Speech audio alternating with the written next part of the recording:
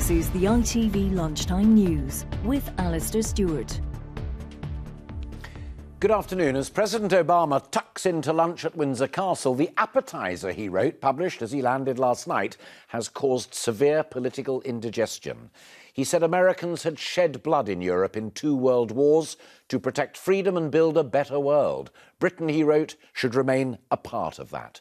Boris Johnson accused him of hypocrisy, suggesting Mr. Obama was consigning Britain to a loss of freedoms the US would never accept. But an exclusive ITV News poll suggests you think the president's views are irrelevant and he should keep them to himself. Political correspondent Lewis Vaughan Jones reports. The US president knows how to make an entrance, and even before he stepped foot on the lawns of Windsor Castle, he'd already entered the EU referendum debate. His hosts this afternoon, the Queen and Prince Philip. He's here for a private lunch, but publicly he's made it clear he thinks Britain should remain in the EU. In an article for The Telegraph, the President wrote, The European Union doesn't moderate British influence, it magnifies it. A strong Europe is not a threat to Britain's global leadership, it enhances Britain's global leadership. The United States sees how your powerful voice in Europe ensures that Europe takes a strong stance in the world and keeps the EU open, outward looking, and closely linked to its allies on the other side of the Atlantic.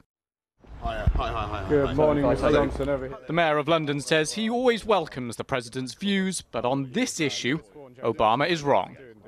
It is very odd, it is perverse, it is hypocritical Right, for us to be told by America to, to uh, embroil ourselves ever more deeply in a structure which would be absolutely alien to American tradition. A new Comres poll for ITV News shows half of British adults said he shouldn't say publicly whether he thinks it would be best for Britain to remain in or leave the EU, while 36% say that he should. A former ambassador to Washington and Remain supporter says intervention like this is normal. He is sticking up for American interests, that's true, but he's also sticking up for common US UK interests. Uh, the common interest in advancing the values that we have in common openness, transparency, democracy, free trade. No, so this room is full of mirrors. Where do you, where do you want Where would you like us to Just The visit here is to mark the Queen's 90th birthday. Politics not part of the proceedings. But later this afternoon, we're expecting to hear more of his views on the EU. They will be welcomed by the government, but those on the other side of the debate may not be smiling. Lewis Vaughan Jones, ITV News, Westminster. And our political correspondent Romilly Weeks is live where that is going to be happening shortly, number 10 Downing Street. So Mr Cameron and Mr Obama will meet just where you are fairly shortly. What's on the agenda for those talks, Romilly? Well, it's clear from what the president has already set out in the papers this morning that he's not going to be stepping delicately around the issue of Europe. He's going to be setting out his views in as bold and bold a way as Mr. Cameron could possibly hope, and in a way that has already infuriated Leave campaigners who believe that it is tantamount to telling British voters how to vote. Could it be decisive, a decisive intervention in the way Number 10 might wish? Well, probably not decisive, but not unimportant either. Our poll showed that a minority, 30% of voters here believe that what the president has to say is important to them, but he is the biggest figure in a growing list of world and other leaders from the IMF to the leaders of China, of India, of Canada, who say that it is better for Britain to stay in Europe, and the government certainly will be ho- hoping that that's going to hold some sway. Romilly, thank you very much.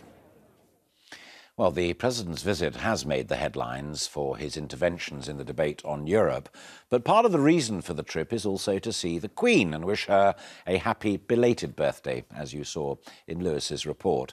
She, of course, celebrated her 90th birthday yesterday. Let's cross live now to Paul Davies, who's outside Windsor Castle.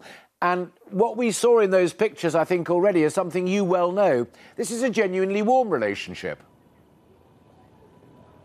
I think it is. I think it's a, real warmth, way beyond what's required in the uh, in the line of duty. I think that's fair to say. What is happening right now is that the Queen and Prince Philip, the President and First Lady, are tucking into a most convivial lunch. We saw when the Queen welcomed her guests here in the castle that she was in particularly relaxed form. She's known 16, not 16, she has known 12 different presidents. And there have been some different personalities in amongst that lot. Some she's appreciated more than others, but I don't think there's ever been quite the bond that she seems to have with the Obamas. As Romilly told us, from here the President goes on to Downing Street for serious business, but tonight another royal occasion. The President and First Lady will be meeting up with the young royals, William, Kate and Harry, and you can bet Michelle Obama is looking forward to that. Paul, thanks very much. And as Paul just mentioned there, the Queen's reign has indeed seen a dozen presidents. You can see pictures of her meetings with them over the decades at itv.com forward slash news.